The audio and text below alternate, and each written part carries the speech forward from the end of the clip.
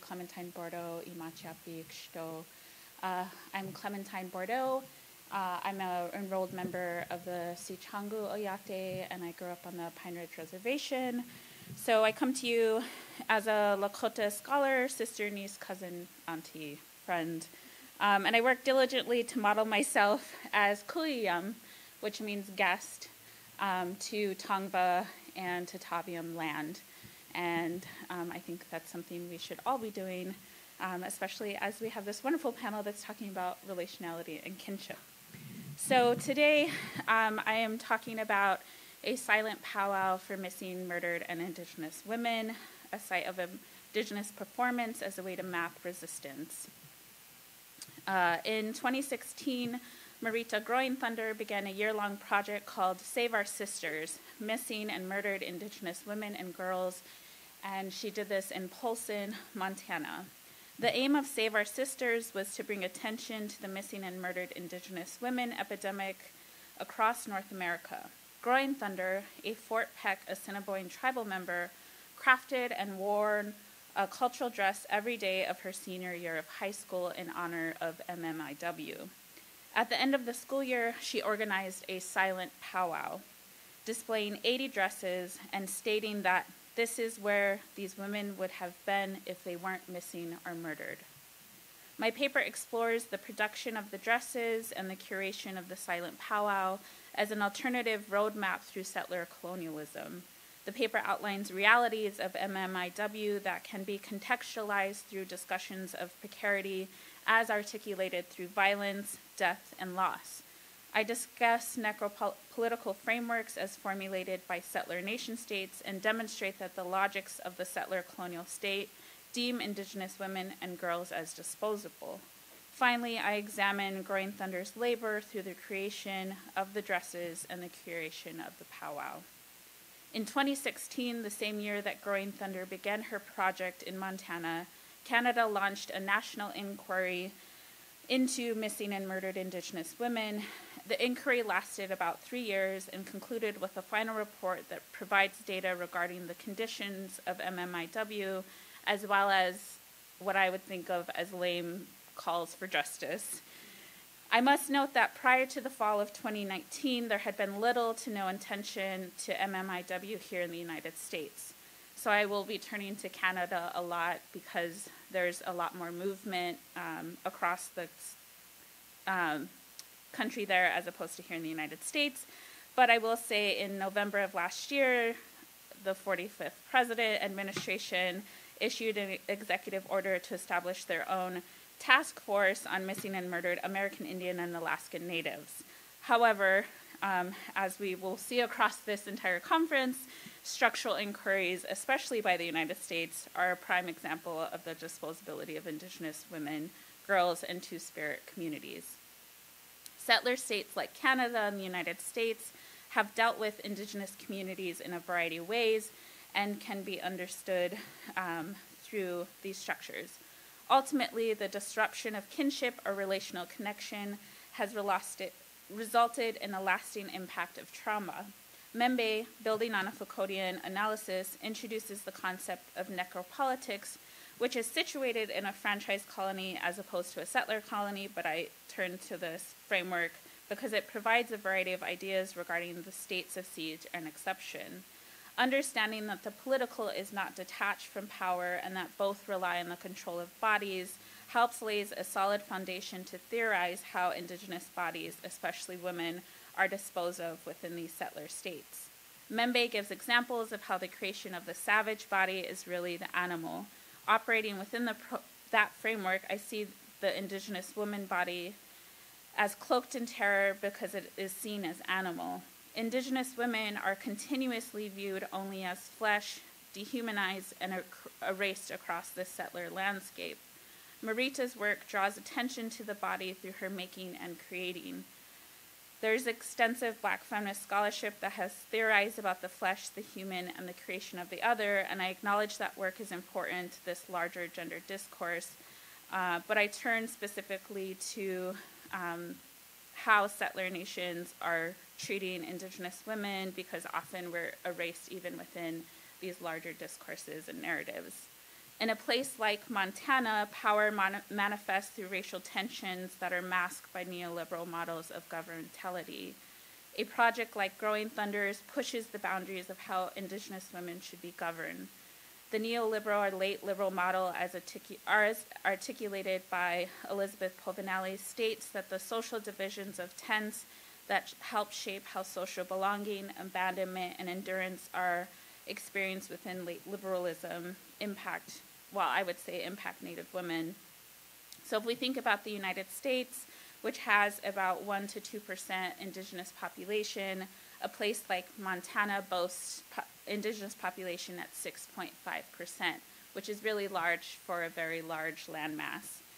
In a state that is majority, but still majority white, a lar- the large indigenous population is criminalized, and the criminalization of indigenous women's bodies is rampant, and but also coded as someone else's responsibility. The Save Our Sisters project is on trend with movements across North America where Indian women face homicide at higher rates in the United States, usually by an intimate non native partner. When Indigenous woman goes missing, the search for her is often left to either tribal, state, or federal care. In a state like Montana that is under Public Law 280, jurisdiction is transferred from tribal to federal law enforcement to the state authority. The, complis- the complicated mess of the government often leaves American Indian women either victimized or ignored. The Save Our Sisters project was imagined and created near the Flathead Indian Reservation, uh, but Polson is just off the reservation, so where Marita was um, geographically located, what had a high population of Native people, but still predominantly white. Although Marita is not an enrolled member of Flathead, she had been organizing and living the realities of the com- complicated tribal state and federal navigation of Amer- American Indian women in Montana. The simple act of Marita wearing a cultural dress every day to school agitated a space of whiteness.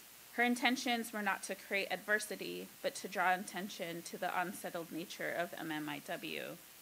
The intimacy, so Marita states, when you wear a skirt, you wear it to be honest, to be your true self.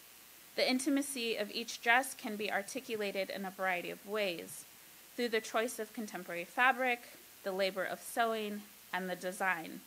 As a young Indigenous woman, she has navigated the potential of becoming a part of the MMIW, not only as an advocate, but a potential victim. The dress making for her is intimate. In the beginning, each dress was made in honor of a woman that was missing or murdered, but it became too overwhelming because the number was incredibly high. So people would message her on Facebook, they would text her, they would email her with a name. So in the beginning, like the first few months, she would make a dress and think of this woman as she made the dress, and then it, that became too over, emotionally overwhelming for her. Each dress takes anywhere from 90 minutes to six hours, depending on how intricate it is. And she would create this every night. She was also in band. She's like an honor roll student, so she would like go to band practice, do her homework, and then her and her mother would make the dresses every night. Um, Lisa Lowe provides an intimate way to read these complicated histories. Lowe offers differing concepts of intimacy as understood through politics, economies, and culture that are impacted by colonialism. Marita is bringing her Assiniboine, Kiowa, Comanche um, worldviews to this making, ultimately a tribal plains view, which I would argue is aesthetically pleasing because I'm a plains person. Um, and women on the plains, I, you know, historically would have to be able to raise our teepees um, alone, um, and those are our temporary dwellings historically. So while also like showing off beautiful adornment. So I think Marita's intimate embodiment of these dresses is a way to understand the intimacies of A being intertribal, but also creating new ways of reading a temporal connection not only to design pre-contact, but to a contemporary space um, of like satin ribbon. Growing Thunder maps a way to navigate contemporary colonial incursion through the wearing and making of her dresses. The ribbon skirt represents an ongoing radical resistance against colonialism that includes struggle for land, self determination, healing historical trauma, cultural continuity, and reconciliation.